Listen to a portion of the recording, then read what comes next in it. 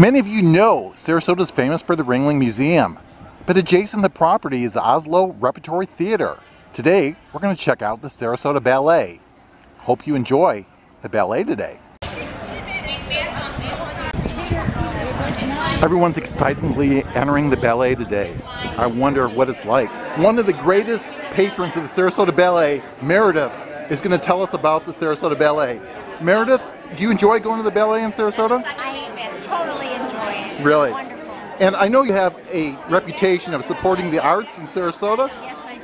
Really? Now, how does the ballet compare to the Van Wezel and the opera?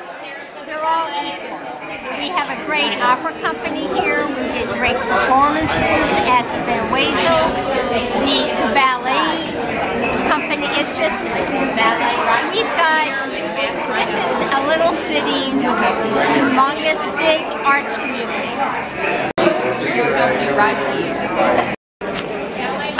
There's a sense of excitement in the air. People are eagerly anticipating the ballet here in Sarasota. People are dressed in their finest. Others are a little bit more Florida casual. But And we know, during the performance, you know that'll be off, right? correct. Perfect, thank you. And the ballet is located in Asolo Theater. This is a classic theater, over 150 years old, that was imported and brought to Sarasota. Look at the beautiful ornate carpentry. Look at the comfortable Venetian seats. This is a gem of Sarasota. Look at the classic beauty of the Asolo Theater. I love the rich gold Baroque carvings. This, and look at the mezzanine and balconies here. Exquisite. Oh, guess what?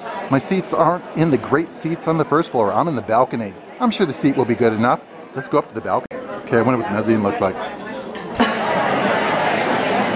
And look at this expansive scene in the ballet. It's classically beautiful. You're taking a picture? Yeah, how are you doing? Where are you from?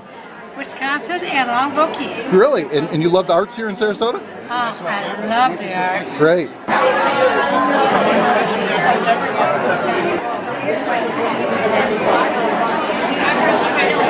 You're in the balcony. You're in the balcony. Please proceed to your seats. Three minutes to the start of the show. Thank you very much.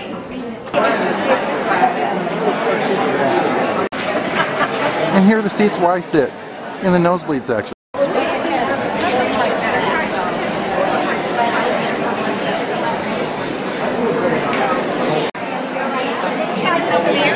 Those people probably gave a ton of money to sit here in those good balcony seats.